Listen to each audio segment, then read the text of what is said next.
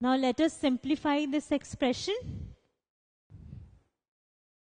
So we have this expression and we need to simplify it. So let us first open the brackets. We have 3a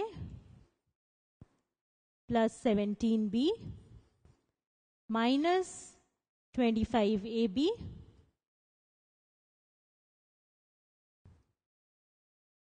since we have a plus sign here so all the terms are written as they are there is no change in sign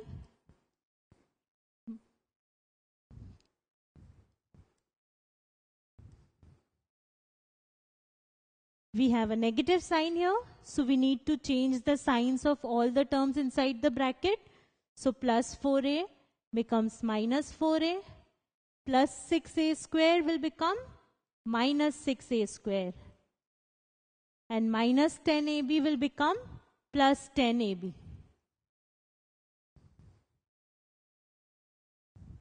So this is what we have. Now we look for all the like terms we have a 3a here. So we already taken b, ab, a square, b square, ab. We have another a term.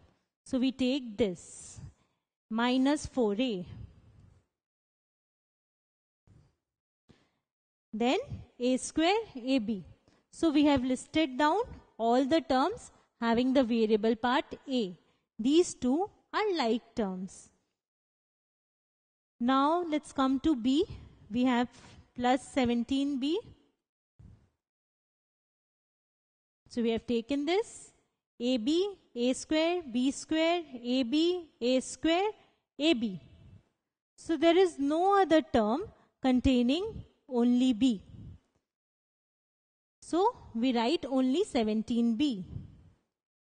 Now let us come to AB. So we have minus 25 AB. So we have taken this. Here is another AB term plus 5 AB. Another AB term 10 AB.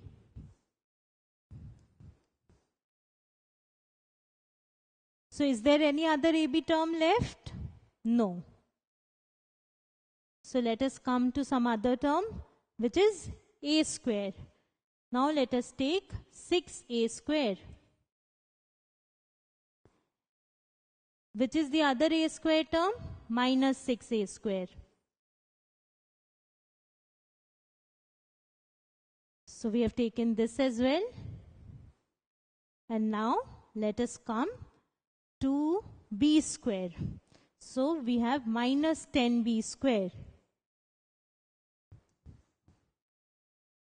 So is there any other b square term left? No, there is no b square term left. Now we can simplify all the like terms. So we get 3a minus 4a gives us minus a. Plus 17b remains as it is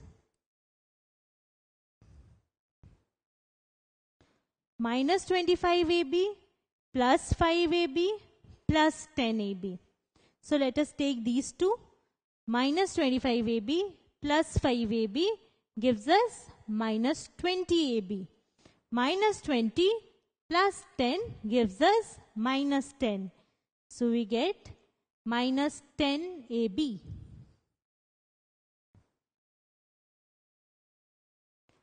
Plus 6A square minus 6a square. So we have a 0 here and minus 10b square.